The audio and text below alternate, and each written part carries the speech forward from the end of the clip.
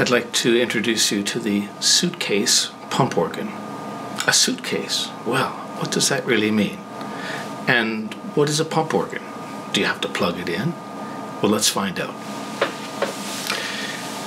In 1840, uh, approximately, uh, the pump organ was invented, and what it does is uh, wind or air is pushed through a thin piece of metal called a reed, and it vibrates, and we get a sound. Now, those reeds are uh, different sizes, and so we can get different notes of the scale.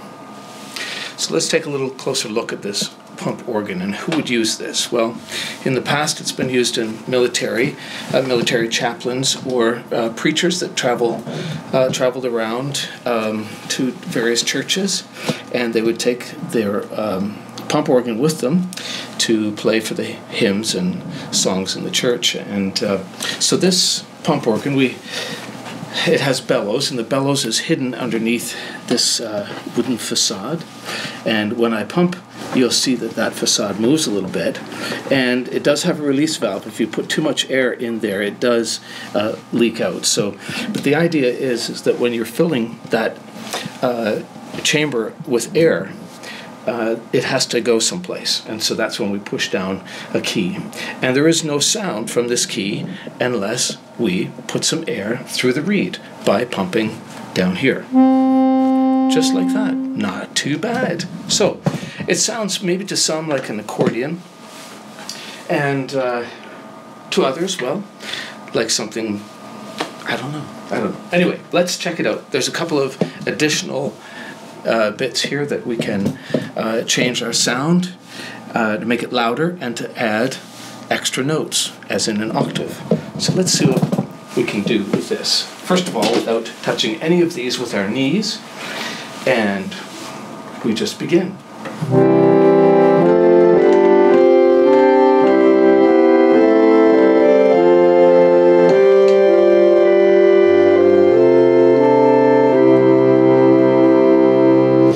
Course, the more notes that you play, it requires more air running through. So you sometimes have to pump faster. It's a great workout. It's kind of like pumping for maybe two or five kilometers.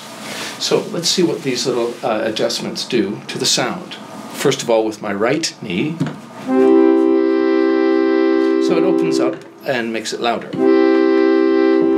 So you can crescendo and decrescendo. Let's see what the left one does.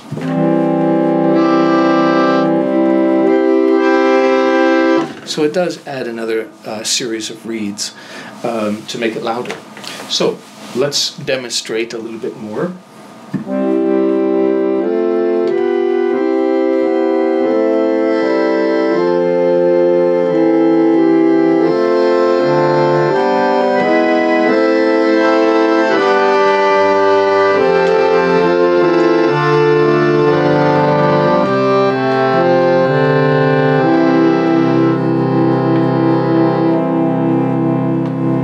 And if I stop pumping, the sound ceases to exist. So that is the pump organ, the reed organ, the suitcase pump organ. Lots of different names. Harmonium and melodeon are uh, relatives, so I would encourage you to find out a little bit more information about the pump organ and its history, how it was used, and the many variations. Thanks for watching and thanks for listening.